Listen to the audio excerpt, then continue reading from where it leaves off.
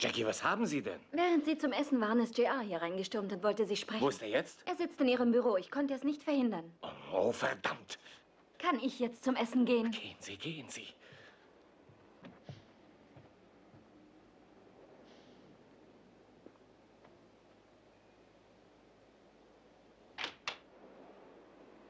JR, was wollen Sie hier drin? Also für einen halbwegs erfolgreichen Geschäftsmann haben Sie ein äußerst schäbiges Büro. Dieser Sessel ist das unbequemste, worin ich je gesessen habe. Vielen Dank. Soll ich Ihnen, nachdem Sie mein Büro begutachtet haben, meine Akten vorlegen? Danke, nicht nötig. Ihre Geschäfte sind ein offenes Buch. Aber ich bin nicht gekommen, um mit Ihnen zu streiten. Nein, Sie sind gekommen, um mein Büro schlecht zu machen. Sie brauchten wohl ein bisschen Abwechslung und hatten gerade kein hilfloses Opfer, das Sie betrügen konnten. Nein, ich bin hier, um Ihren Hals zu retten. Und den jedes unabhängigen Ölmannes in Dallas. Oh, da sollte ich wohl sehr genau zuhören. GA als Menschenfreund. Aha, und was ist da für Sie drin? Meine Rache. Rache an... Weststar. Oh. Sie haben Ewing Oil erledigt und Sie haben gerade Andy Bradleys kleine Firma gekauft. Sie besitzen zwei bedeutende Vermögenswerte, Barnes.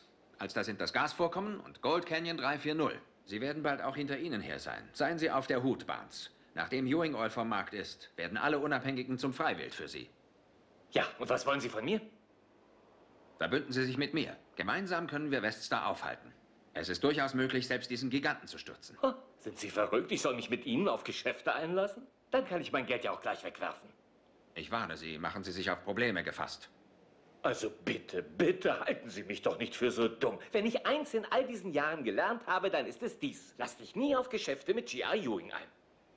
In ein paar Tagen schon werden Sie mich flehentlich bitten, mit mir Geschäfte machen zu dürfen. Das wird nie geschehen. Sag niemals nie.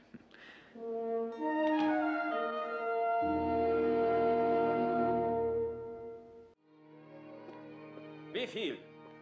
Wie viel wofür? Sie wissen genau, was ich meine. Diese Farm in der Nähe meiner Gasbohrstelle. Ich habe gerade gehört, dass Sie mir das Land vor der Nase weggekauft haben. Ich brauche es. Haben Sie denn vor, Ihre Firma aufzugeben und einem Ehrbahnberuf nachzugehen? Zum Beispiel Kuhställe auszumisten oder sowas? Ach, lassen Sie doch Ihre dummen Witze. Ich stecke mitten in den Verhandlungen. Sie wissen doch, dass ich ohne das Wegerecht das Gas nicht an die Leitung bringen kann. Ja, sicher. Ich hatte Ihnen ja gesagt, dass Sie zu mir kommen würden. Also gut. Wie hoch ist der Preis?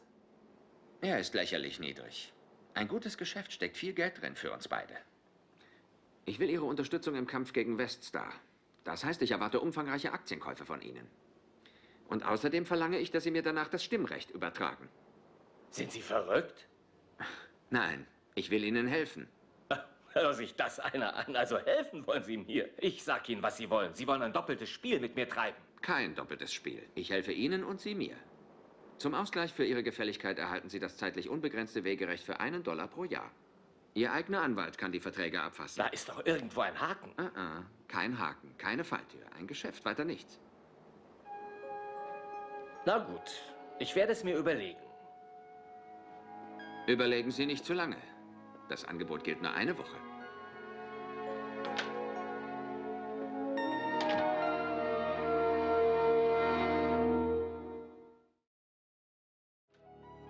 Na, haben Sie die Aktien gekauft? Selbstverständlich habe ich gekauft. Sie haben mich ja an der Zange. Was blieb mir übrig? Hier ist die Bescheinigung über den Ankauf der Aktie. Wo bleibt die Gegenleistung? Die bekommen Sie, sobald Sie mir das Stimmrecht übertragen haben. Seien Sie unbesorgt, ich werde Sie nicht aufsitzen lassen. Ich werde immer so stimmen, wie Sie es wünschen. Davon bin ich überzeugt, wenn Sie das unterschrieben haben. Unten rechts. Wo steht hier etwas über mein Wegerecht geschrieben? Wenn Sie etwas weiter unten nachlesen würden. Sie können doch lesen, oder? Äh, hier steht's doch. Und als Ausgleich für die uns von Barnes Ventures in Bezug auf ihre Weststar-Aktien übertragenen Stimmrechte erhält Barnes Ventures das Recht zum käuflichen Erwerb der... Zum käuflichen Erwerb? der Sie haben Berechtigung, gesagt... Erdgas zum Preis von einem Dollar über das der Firma JRE Enterprises gehörende Grundstück zu leiten. Bitte unten unterschreiben. Das weiß ich.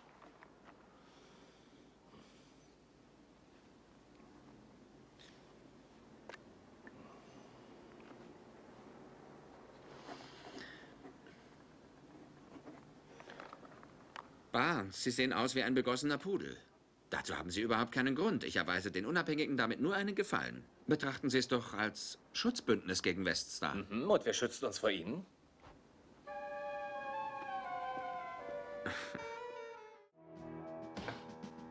Wo ist er? Es tut mir leid, Mr. Barnes. Er ist drin. Melden Sie mich an. Ach, lassen Sie nur. Ewing, ich muss mit Ihnen reden. Wer hat den reingelassen? Entschuldigen Sie bitte, er ist einfach an mir vorbeigestürmt. Die Barnes hatten schon immer schlechte Umgangsformen. Haben Sie die Börsenkurse gesehen, hä? Vesta fällt weiter. Das ist doch halb so schlimm. Halb so schlimm. Der Kurs ist in zwei Tagen um acht Punkte gefallen und fällt weiter. Sehe ich aus, als ob ich mir Sorgen mache? Nein, das tun Sie nicht. Vermutlich deshalb, weil Sie Ihre bereits verkauft haben. Ich werde meine auch verkaufen.